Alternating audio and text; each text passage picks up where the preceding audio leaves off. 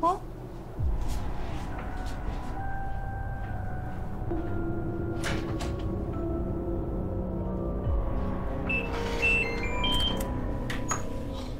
아, 선배, 아, 이 시간에 어떻게 회의 있어서 지방 갔다던데? 방금 올라왔어. 내가 좀 늦었지. 하윤이 생일 선물. 일단 들어와요, 선배.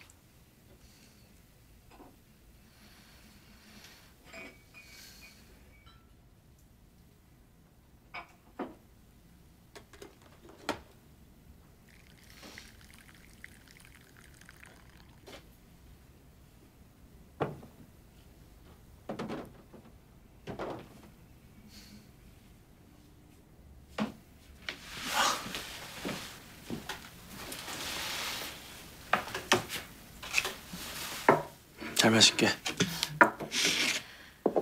정시 깨워야겠다. 지수야.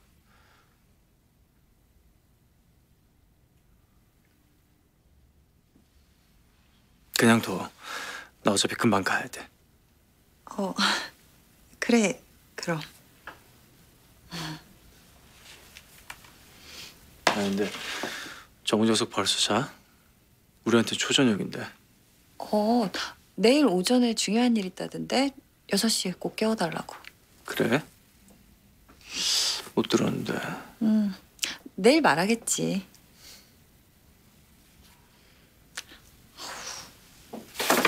음, 그냥 정우 씨 편에 보내지. 이 밤에 뭐하러 왔어? 얼굴 보고 주려고.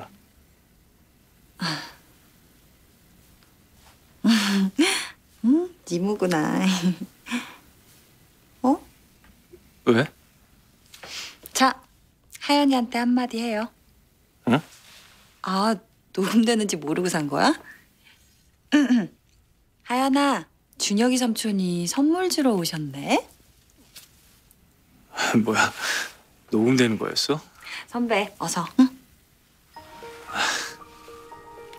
하윤아, 준혁이 삼촌이야. 시간이 벌써 한 시네. 우리 하윤이 생일이 한 시간이나 지나버려서 너무 미안해. 생일 축하해, 하윤아. 됐다. 우리 하연이가 좋아하겠다. 내년에 못 챙겨주겠네. 아, 유엔 법무 협력관. 그러게. 내년에 우리 떠나면 2년 동안 못 보겠다. 뉴욕에 한 번 놀러 와, 선배.